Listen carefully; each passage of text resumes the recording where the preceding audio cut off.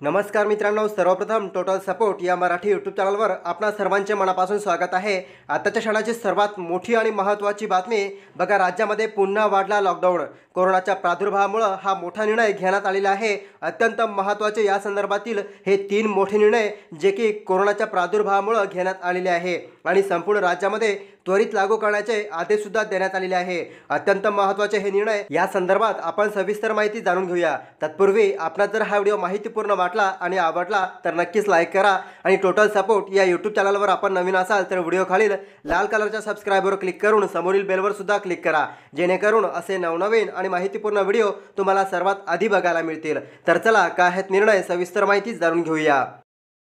तर मित्रांनो आताच्या क्षणाची सर्वात मोठी आणि महत्त्वाची बातमी बघा राज्यामध्ये कोरोनाच्या वाढत्या प्रादुर्भावामुळं अत्यंत महत्त्वाचे तीन मोठे निर्णय घेण्यात आलेले आहे. पुन्हा लॉकडाऊन कडक करण्यात आलेला आहे आणि कशा प्रकारचे हे तीन मोठे निर्णय या संदर्भात आपण सविस्तर माहिती जाणून घेऊया. त्यासाठी हा व्हिडिओ पूर्ण पहा आणि आपला जर हा व्हिडिओ आवडला तर नक्कीच लाईक करा. कारण तुमचे लाईक असेच आणखी नवनवीन व्हिडिओ बनवण्यास आम्हाला प्रोत्साहन देतात.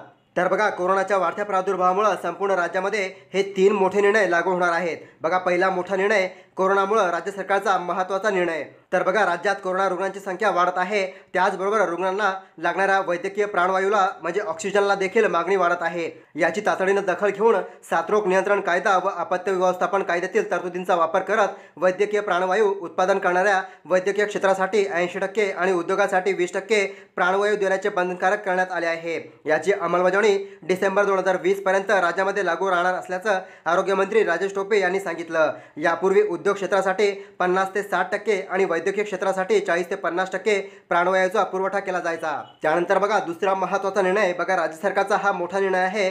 संपूर्ण राज्यामध्ये होणार अंमलबजावणी. बघा चेस दी व्हायरस मोहिमेमुळं आपण या साथीला चांगले रोखले.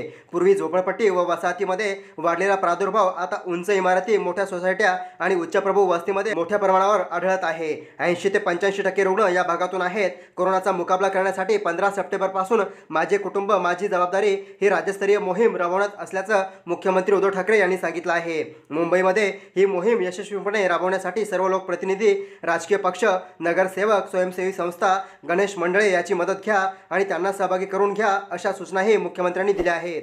त्यानंतर बघा तिसरा महत्त्वाचा आणि मोठा निर्णय. बघा लॉकडाऊन पुन्हा वाढला. राज्यात कोरोनाचा धोका काही कमी होण्याचं नाव घेत नाही. रोज कोरोनाच्या नव्या रुग्णांची संख्या वाढत आहे. अशात आता राज्य अनलॉकच्या प्रक्रियेमध्ये आहे.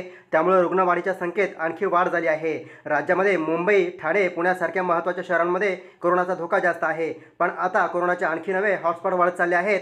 त्यामुळं बारामतीमध्ये कोरोनाबाधित रुग्णांच्या संख्येमध्ये प्रचंड वाढ होत असल्याने आजपासून सात दिवस जनता कर्फ्यू म्हणजे लॉकडाऊन वाढवण्यात आला आहे.